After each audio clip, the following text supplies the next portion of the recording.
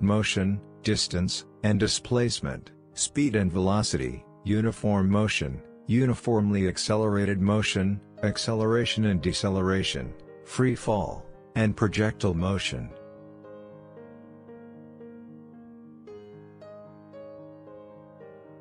Motion, is the change in position of a body with time. Here's a ball with no motion. And another ball in motion.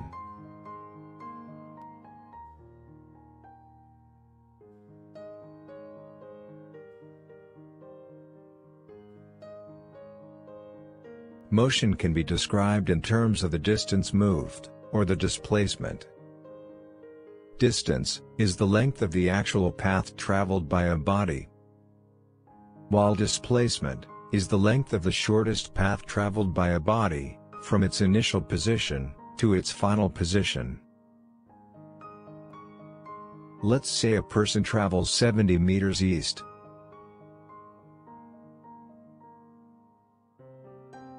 Then turns back travels 20 meters west.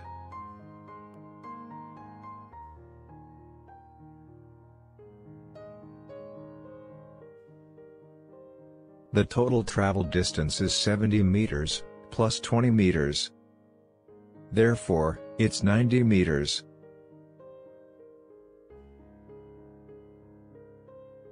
While the displacement, is 50 meters going east.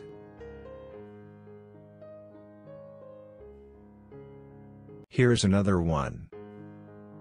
You drive the red path, and your car odometer goes up by 8 miles, this is your distance.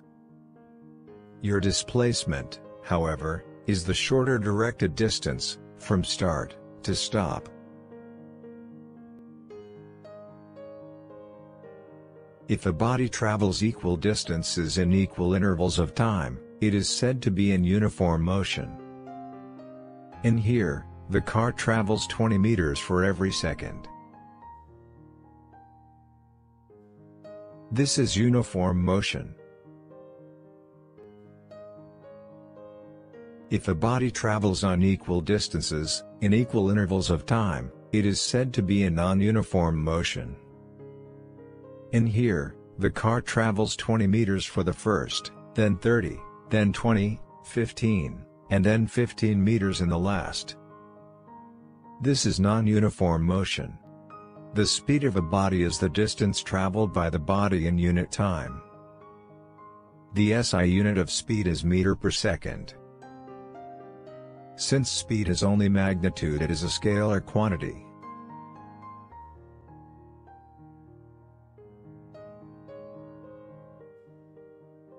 For example, a ball rolled a distance of 20 meters for 5 seconds.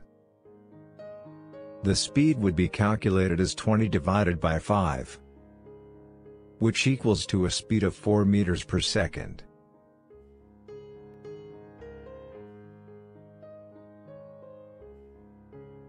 Average speed, is the ratio of the total distance traveled, to the total time taken. The GPS system in your car, or phone, can show your average speed as you travel.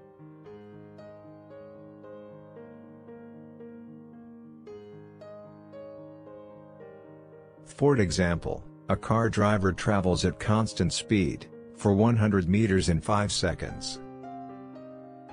His average speed is computed as 100 divided by 5. Thus, his average speed is 20 meters per second.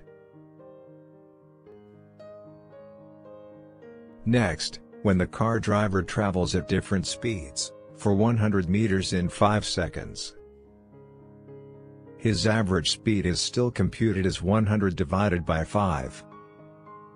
Thus, his average speed is also 20 meters per second. Instantaneous speed, is the speed of a body, at a particular moment in time. At a given instant time, what we read from the car speedometer, is instantaneous speed.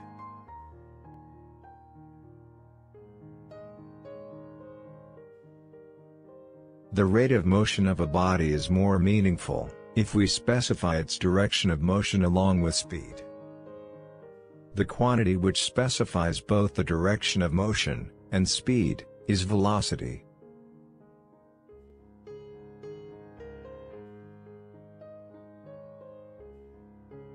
The velocity of a body is the displacement of the body per unit time. Velocity can be changed by changing speed, or direction, or both. Since velocity has both magnitude and direction, it is a vector quantity. When a car turns around a curve, it is changing both in its speed, in here, it is slowing down, and in direction, in this case from going north to going west.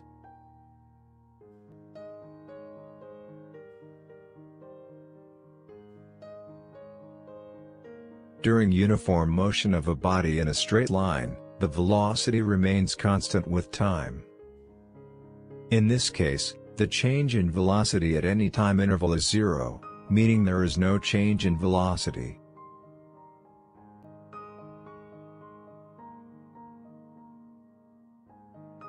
During non-uniform motion, the velocity changes with time.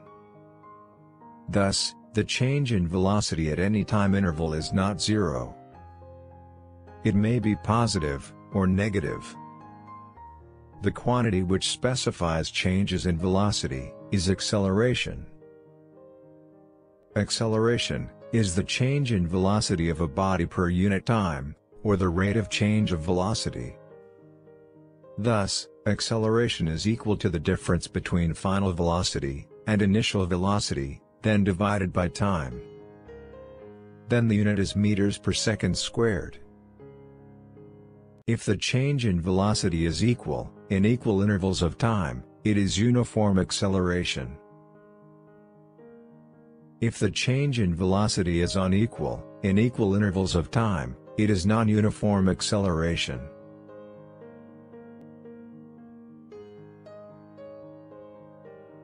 An example of uniformly accelerated motion, is free fall motion. Free fall, is any motion of a body, where gravity is the only force acting upon it.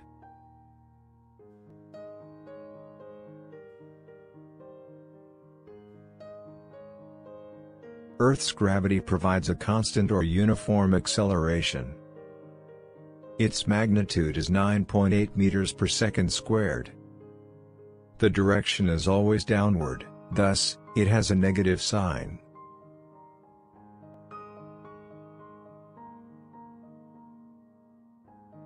Projectile motion is a motion of an object thrown, or projected into the air, and subject to only the acceleration of gravity.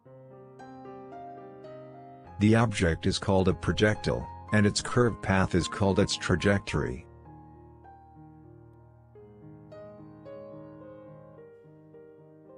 When a bullet is fired horizontally, it is pulled downwards by the force of gravity. Thus, the bullet takes a curved path, and hits the wall at a slightly lower mark.